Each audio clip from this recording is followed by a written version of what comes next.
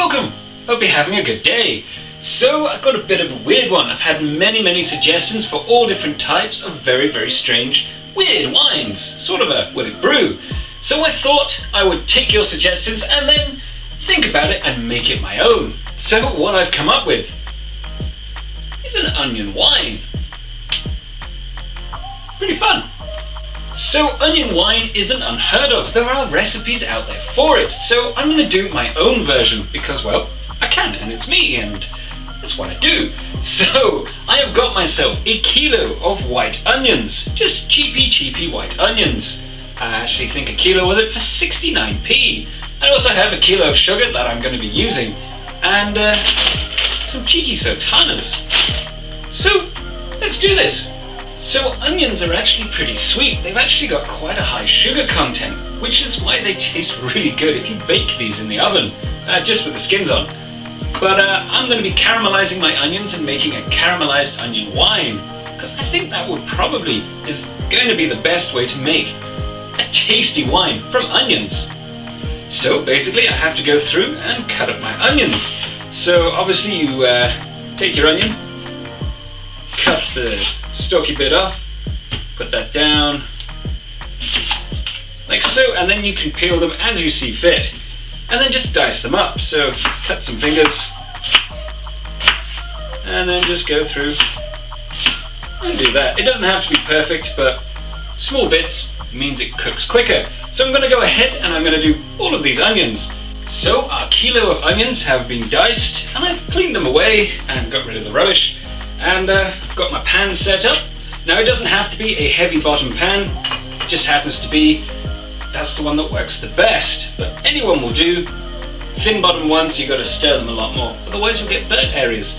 So now we are going to sweat and caramelize our onions to extract, to get rid of that harsh onion flavor and hopefully get a nice sort of sweet onion aroma. Should be pretty good. So uh, in they go. Oh, this, this may be a case of doing it in two batches. So I'll add in another half here. So yeah. Yeah, that's a lot of onion. So because we're going to be sweating these and caramelizing them, we want this to be on a sort of low heat. Uh, obviously if you have an electric hob, it's somewhere down in the two or three probably. I, I don't know, I use gas, so uh, I just know that a low heat. Just give them a stir. If they start to stick, I've got some water, just ordinary tap water, that I'm going to add in. But for now, let's just stir these on a low heat.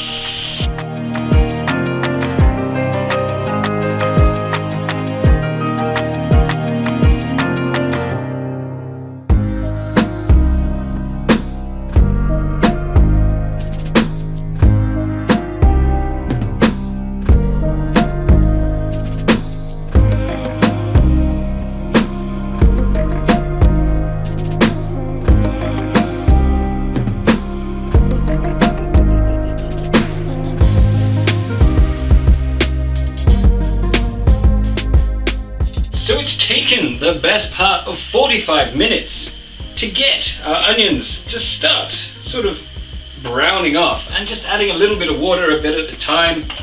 And yeah, it does work. It just takes a long time to start caramelizing onions without butter because, well, butter and sugar are excellent.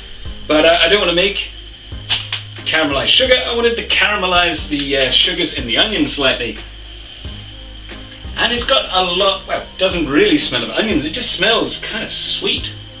Mm. They do taste rather nice, kind of sweet. That little bit of burning, or caramelizing, makes them taste really nice and sweet. So, um, now comes the fun bit. So I've got my 500 grams of sultanas, and I'm going to be adding in 250 grams of sultanas. Oh yes. There we go. Approximately. This will give it a bit more body. And I'm not going to be removing them from the pan. In fact, I'm going to be adding in a cheeky litre. Uh, yeah, just under a litre and a half of cold water. or as much as I can fit in my pan. Now I'm going to simmer this for 20 minutes. That's going to extract all of the flavors from the uh, already lovely onions and the sultanas. So it's been boiling now for 20 minutes and it smells really good, oddly. I'm getting sweet onion, uh, which is coming from probably some of the caramelized sugars in the onion and also from the sultanas that we added in. So now, just get to turn it off, and we're going to leave it for about one hour, uh, just to give it some extra time to infuse and cool down a bit. So in the meantime, get to chill, watch some YouTube, and sterilize my demijohn, or rinse it out, uh, and then we'll be back. So our hour is up, and uh, yeah, it's relatively cool. It's still warm, but at the same time, nowhere near hot enough to melt plastic. So I've gone ahead and I've sterilized everything and rinsed it off. And I used my bleach and washing up liquid solution uh, included sterilizing the worktop so I can put all my stuff down. So I haven't used my 5 litre water containers in a while, so that's what we're going to do. And I've got my cheeky kilo of sugar. And for a change, I'm just going to dump it straight in. There we go like the sands of time. There we go. So, what I'm going to be doing is I've got my sieve and I've got just a container that doesn't have to be sterilized because we're just putting the onion glop in there. And uh, let's pour in the lovely jus. It smells really good, oddly. It smells a lot like sweet onion soup just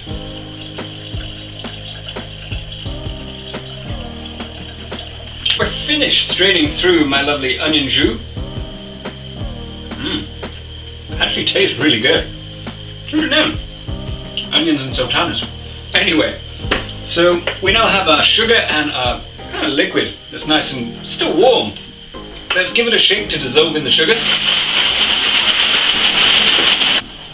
So now I've got this mostly shaken up, I'm going to have to add some more water in there. Can't just brew that on its own. So I'm going to use my kettle because I've made myself a coffee, so I know it's sterilized, and I'm going to use cold water from the kettle to top this up.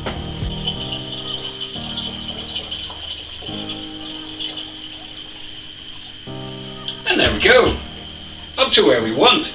Now it is looking rather interesting, and as I've added water to it, it's got a it's not an onion swell, uh, onion swell. It's not an onion smell, but it is kind of sweet and reminiscent of onion. It's very unusual. Hmm, novel. So, before I shake it up uh, to mix it all in, I'm going to grab my hydrometer. I'm now going to add in my cheeky ingredients. So, one teaspoon of yeast nutrient, because I want this to, well, ferment, to hopefully dryness. So in goes a cheeky teaspoon. And because we used onions, um, there are sugars in onions, but they're mainly carbohydrates. I'm gonna add in a little bit of amylase, just wine-making amylase, nothing fantastic, just a little teaspoon. And I haven't stored this next to my oven, so it will definitely work. So I'm gonna give this a shake, and then I'm gonna go grab my hydrometer. So I've got my now rinsed hydrometer and my lovely shaken onion wine. Still smells strange. Can't put my finger on what it smells like. And in goes our hydrometer. So just give that a minute to do its thing. But uh, this should be a rather interesting little uh, recipe, I suppose. If you ever wondered what it's like to ferment onions, this is probably going to be a fairly accurate representation of what it's going to taste like. So that looks like it's settled out. And it is reading 225 grams and roughly 13% if it ferments to dryness, which is roughly 1.080. That's pretty, well, 13% is pretty nice. There are some sugars in the onions, as well as some sugars in the sultanas. That's why it's over the usual 11%. So the yeast that is going to be tasked with fermenting onions it's just my universal wine yeast. So let's just chuck a little sprinkle in, like so. Put my lid on, little quarter turn, and we're all set. So this should be a rather interesting and novel idea. Don't know. So maybe it would be good, maybe it would be terrible. There's only one way to find out, and that's to give it a go. Cool. So I really hope you enjoyed this video. Don't forget to check out some of the other ones, and well, subscribe if you feel like it. Carry on homebrewing, guys. See you later. So I just want to take a second to thank my patrons. Uh, they're helping me grow the channel, upgrade my equipment, all of that fantastic stuff. And as a thank you to them and for future patrons, I also do four Patreon-only videos per month. So it's pretty handy if you want a little bit extra. Um, so there's some other links to videos down below, and of course the Patreon and subscribe button. Don't forget to check those out. See ya.